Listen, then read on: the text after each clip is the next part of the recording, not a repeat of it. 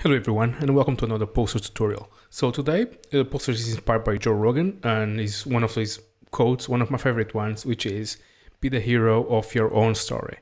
So this is like a very powerful, a very, very powerful quote and I really wanted to design a poster around it. So let's just jump, create a new document in Illustrator. I'm going to use a 1700, 2400 RGB in vertical orientation. Just press create. I'm going to actually press back my tabs here so I can actually see my document. Great. So the way we made this poster here is actually we use the font and then we actually distorted the font, like customize the font a little bit so it actually fits our design needs on this poster which is really cool. This is like a you can't al- you can't always do that, but in this case, this font is an open source font, and you can do whatever you want with it. So yeah. Oh, by the way, the font was oh not this. Um, the font was Outward uh, from velvetyne.fr. And you can just go there, download it for free, and have as much fun as you want. And also, there are another amazing fonts on this website. So I highly recommend it. And it's totally free again. Let's just jump back to Illustrator and let's just start. So actually I'm gonna make a new document and I'm gonna paste the colors from this poster here. Already had, the, had them copied before. So just going to put this here I'm actually going to just use as a reference, put in my other screen really quick. Cool. So the code is uh, be the hero of your own story. It's a very, very strong quote. I there is like a multiple videos on YouTube, like just um, sharing this quote, which is really cool. So let's just use the font outward. I'm gonna use it outward block. This perfect. So as soon as you choose your font, you choose your code. You don't, you don't need to use the same code as I am using. This is just so you can actually learn my, the technique and actually see how I actually design this poster. So feel free to be as creative as you want. Let's select as font. Let's go to object and then expand and expand object and fill. Press OK. Great. Now just like ungroup it. And let's just group the very specific words so I can actually color them really easily of oops, uh, G, Command G to group them, or you can also go to Object and then Group. But always use a shortcut so you can actually save those few seconds of your life. Story. Great. So the first thing we need to do is actually make like a nice composition with this text.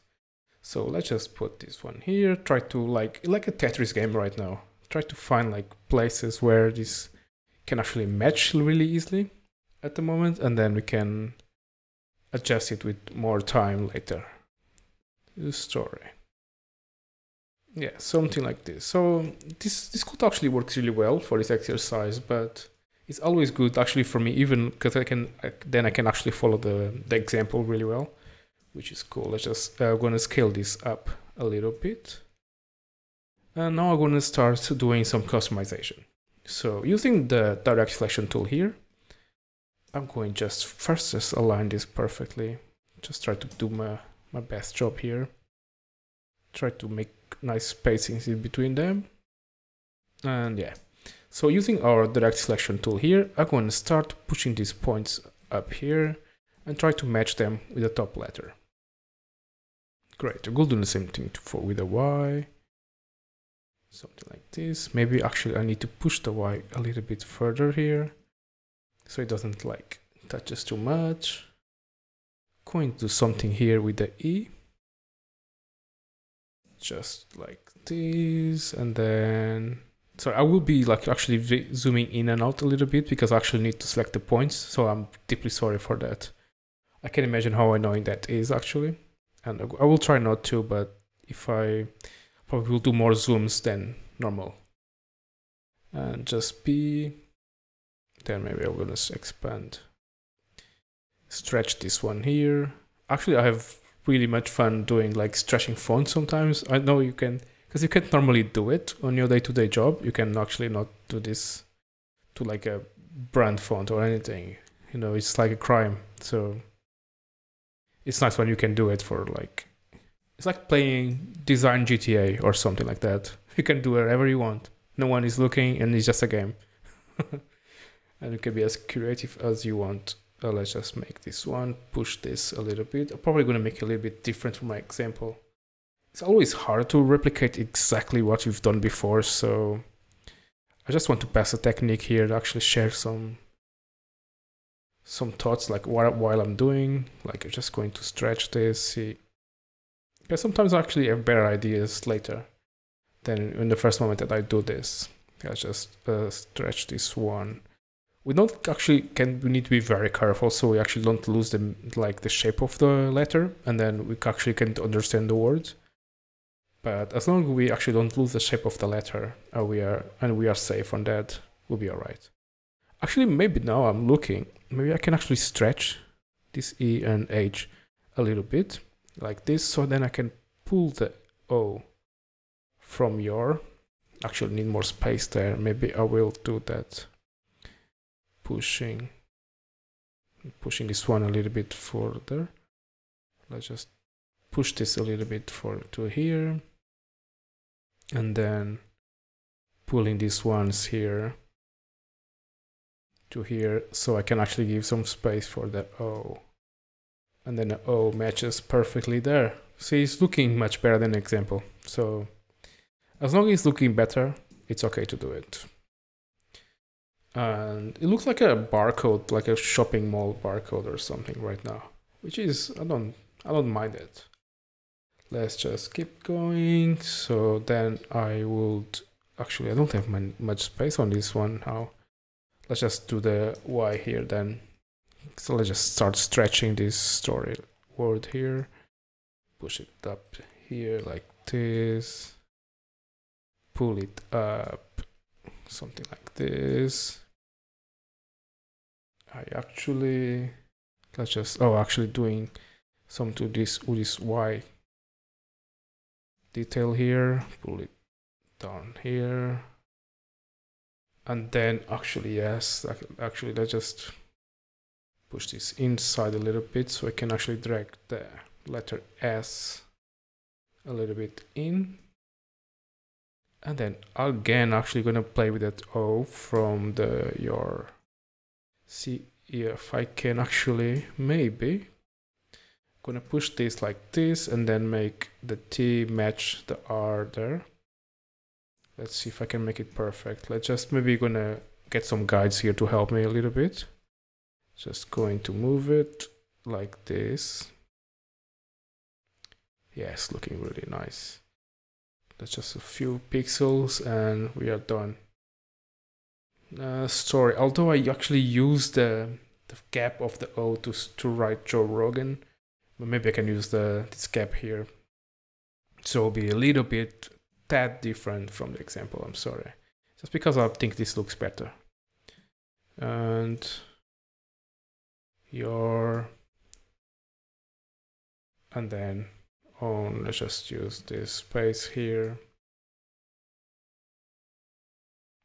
I'm afraid of like this uh, R actually looking like a N now, so actually going to pull it back again, just like these points here. I don't want it to lose the shape and then be like get a little bit confusing. So okay, sometimes Illustrator don't let me select all the points or select way too many points story.